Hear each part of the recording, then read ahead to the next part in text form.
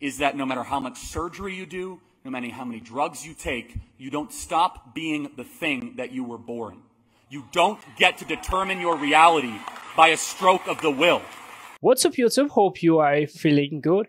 Today guys, we have a new video. Charles Kirk leaves woke gender activists in tears. Okay, this is gonna be interesting and I'd love to check this video out with you guys. Let's get right into it. So my question is about what you said earlier about um, Justice Ketanji Brown's uh, Jackson's qualifications for the Supreme Court and how you mentioned that Hmm. I love uh, shit. she was unable Trump to, uh, 2024. define what a woman is. Thumbs and up, I'd sorry. like to compare that to um, Justice Barrett.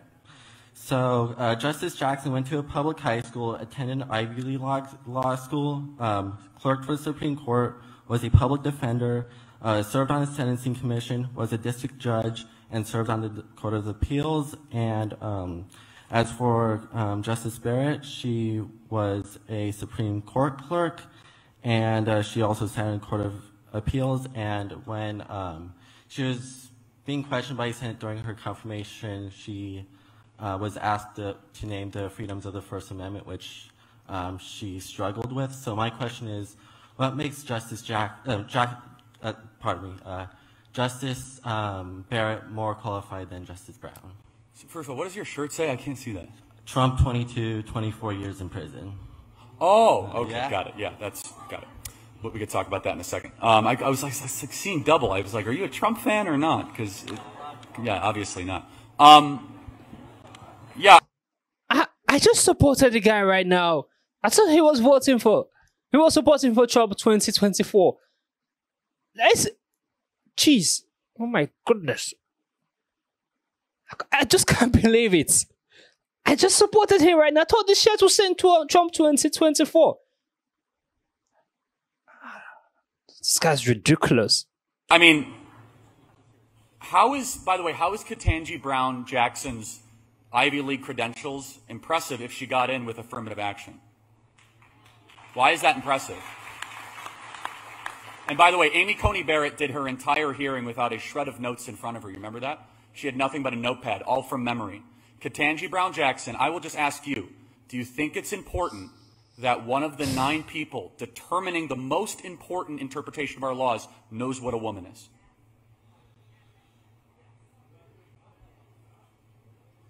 Well,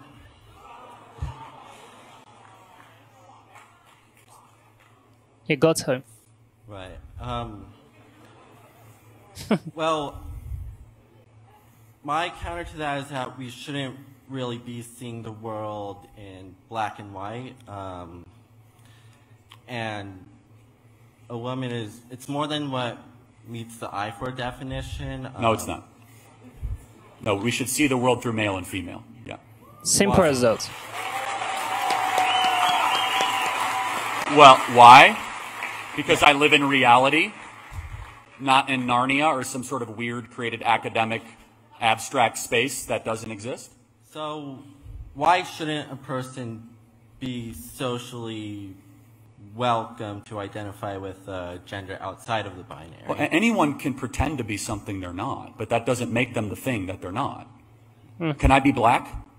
No. Oh, but why can't I socially become black? Blackface, right? I could pretend, wear camouflage, masquerade as something that I'm not, right? How's that different than a trans person? Race and gender are two completely separate things. They have nothing to do with each other, and the existence of being transgender does not imply the existence of being transracial. So you can you can pretend to say that you have ovaries when you don't, but you can't put makeup on to pretend to be a black person. What transgender women are claimed to have ovaries? Uh, there's lots of men that pretend to have ovaries. In fact, the CDC guidance says right now that men can chest feed. Do you think men can chest feed? That's not the sole criterion for being. So let me ask you a question. What is a woman? A woman is someone who identifies as one. Answer the question without saying the word woman. You can't say the word woman. That's, that's called circular reasoning. It's like saying a tree is something that looks like a tree. So I'll ask again, what is a woman? A woman is a person who lives a lifestyle aligned with feminine characteristics, not necessarily your chromosomes or your genitals. So, so someone who just wears a dress. So what you are doing is you are reducing womanhood to a costume. That's true.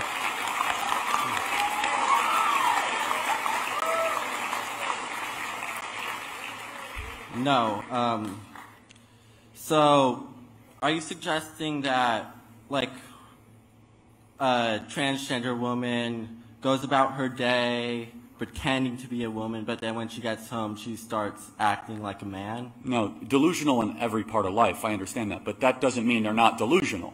Can, I mean, there, there's a series of mental conditions where you could pretend to be a wolf. Can you be trans species too? Does, does your own mental condition dictate external reality, yes or no? Not necessarily. Okay, then why do you believe that a biological man can become something that he is not? Because he thinks it. Because gender is not interchangeable with sex.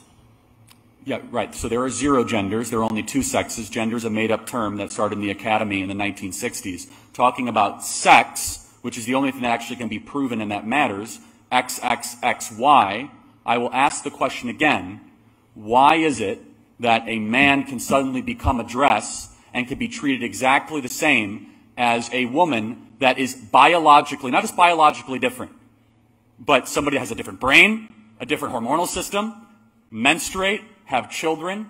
I'll be very honest with you. It is so unbelievably insulting to women to have hmm. men have to lecture that all it takes is some weird dude with testosterone can put makeup on, wear a thong and a dress, and he suddenly becomes a woman. Here's Guys, we need people like Charles Kirk in this world. We need more of Charles Kirk. We need more of him because he's really good and he tackles woke students a lot. He puts them right.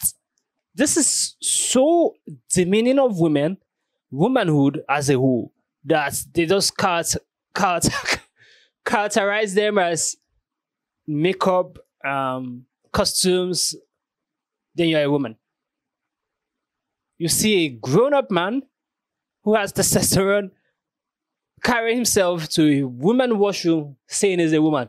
It is so, so demeaning of womanhood that they have so much looked down on women. It is really, really serious. I think this is the point where feminism ought to have stand. But right now, fem- feminism is down. Because nothing like equality again. Oh yeah, yeah. yeah. Why would a man, a full-grown man, carry himself to a woman bathroom? Because he's wearing a makeup and dressing like a woman and carrying a bag like this and saying he's a woman. It is so demeaning. We need people like Charles in this world. Charles prove woke people wrong. I think I have to do a shit about it. because this man is really, really good. And the speeches are on point and precise. Really good. at the essence of the issue is that no matter how much surgery you do, no matter how many drugs you take, you don't stop being the thing that you were born. You don't get to determine your reality by a stroke of the will. I don't deny for a second that the trans person thinks that they are. Certain people think that they're younger than they are. Some people think they're taller than they are. Some people think they're richer than they are. Some people think they're innocent when they're not, like Bob Menendez. There's plenty of delusional people in this world. It's up for society to say no to the delusional and yes to reality. It is for us to not allow us to be reigned under the tyranny of somebody's imagination. Do you have a response? And then we'll wrap it up.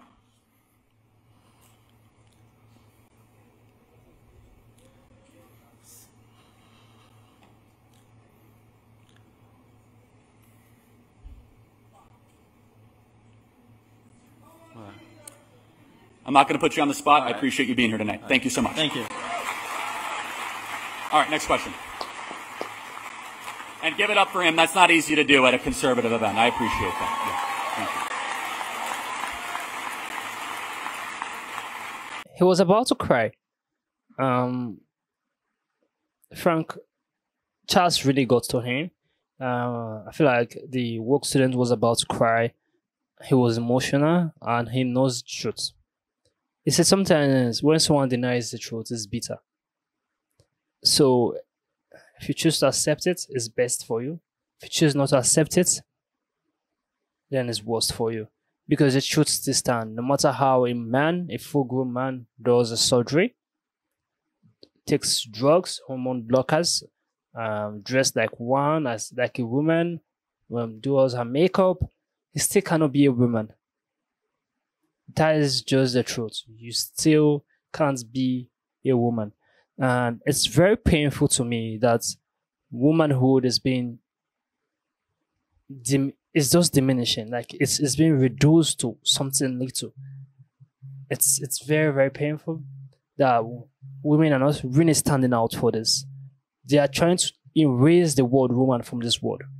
It's really really painful because women are strengths. Women are powerful. Women are something that are beautiful creatures. Right now, everyone wants to be a woman. It's crazy.